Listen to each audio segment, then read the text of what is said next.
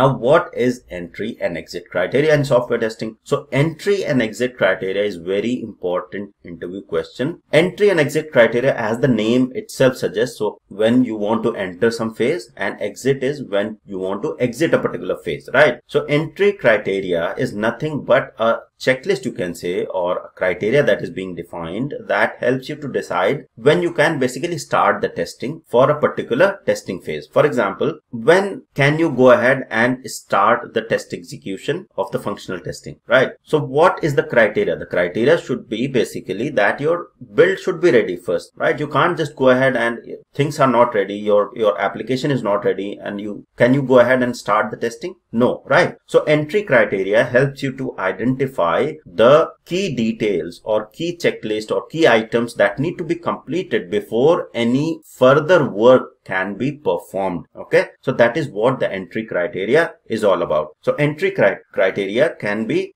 applicable to each and every phase, right? So it could be applicable to the requirement phase, to the design phase, to the development phase, to the testing phase, right? And this was more of when the traditional development approaches were there. So entry and exit criteria is more relevant, was more relevant in the traditional development approaches, waterfall and V model. And it is applicable nowadays as well in agile, but with a different terminology. So I'll understand, I'll explain that as well. So entry criteria will help you to identify when you can enter a particular phase. For example, to enter a development phase, the team needs to have the design completed, right? Or design discussion happened and they need to understand how they are going to progress, what the design will be and what they need to go ahead and start coding. That's the entry criteria. The exit criteria helps you to decide when to stop the testing, when to stop the development, right? Of a particular phase. So that's what the exit criteria is. And entry and exit criteria, when somebody asks you in the interview regarding the testing, it's mostly relevant to the testing, right? So but it could be applicable to other phases as well. But if it is if you are giving a software testing interview it is mostly when you can start testing and when you can stop testing. That's the exit criteria. So starting testing when you can start testing is the entry criteria. What what is the criteria that needs to be met when you can stop testing? That's the exit criteria. Okay? And exit criteria from one phase forms entry criteria of the other phase right? So for example when we say when can you start the integration testing when all the unit testing has been completed, right? And no major defects are outstanding, right? So th this could be one of the criteria. There can be many points in there. When can you start